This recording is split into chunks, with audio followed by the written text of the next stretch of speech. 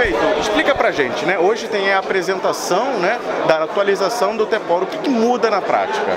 O Teporo agora tem um novo projeto, um projeto extremamente ousado. Não é só mais um, um terminal para supply, não é só para navio de suporte à indústria do petróleo, mas é um conjunto de, de, de, de, de oportunidades que envolve não só mais indústria do petróleo, mas também um approach à indústria petroquímica, à indústria de fertilizantes.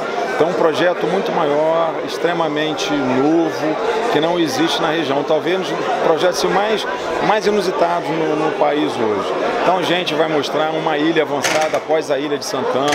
Então, uma concepção bastante diferente que vai fazer da região definitivamente a região, é, o local de maior importância na logística, não só na região do petróleo, mas do estado de Janeiro, que está do país.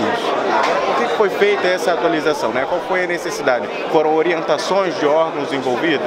É, foi um conjunto de situações. A primeira coisa é que a gente saiu só do cenário petróleo para um complexo muito maior a gente abriu mão de ser uma cidade do petróleo para ser uma cidade da logística.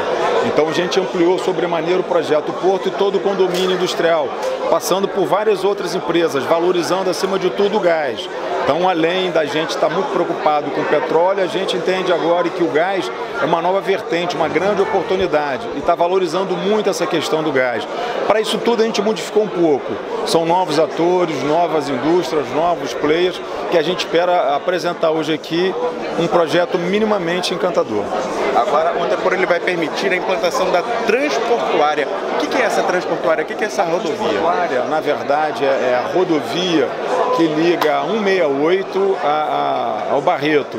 É como se você entrasse ali pela BR-101, no trevo que dá acesso ao Macaé, e a partir dali, onde tem uma grande pedreira, você dá acesso literalmente aqui ao Barreto.